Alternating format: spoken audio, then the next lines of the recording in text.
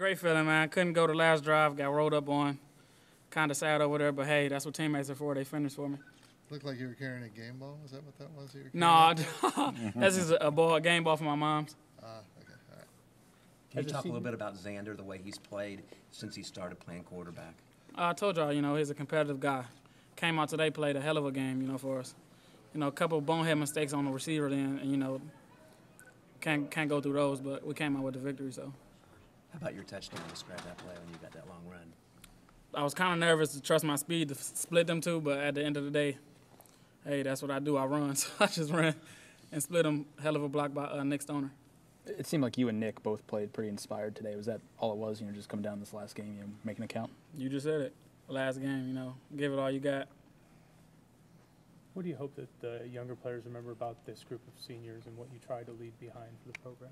Uh, just working hard and you know, carrying the team on third down. Our coach stresses the you know third down conversion for the wideouts. He always do the little third down thing, and you know just working hard with a positive attitude, no matter the circumstances. What's next for you? What do you want to do? Hopefully, go to the NFL, I know. and then if not, just work with kids. You know, as everybody know, I'm a smiling, joking type of guy, so just work with kids. How good was it to see to see Nick out there? Obviously, he's missed the past couple games with injury. You know, wasn't 100 percent sure if he Felt good, you know. He kept talking to me throughout the game, and I'm actually, it's, it was weird because you think you ain't seen him in like three weeks. I'm like, Stoner, bro, you actually out here. Good, you know, good to have won this game, this last game with Nick Stoner. What do you think the future of this ball club is?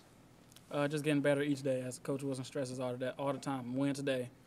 You know, those group of guys will carry on. You know, football doesn't stop for anybody. I'm leaving, and the next guy stepping up, which is Jay Harris. He should be he should be as just like me or as probably better than me. You know, he came in looking way better than I did my freshman year.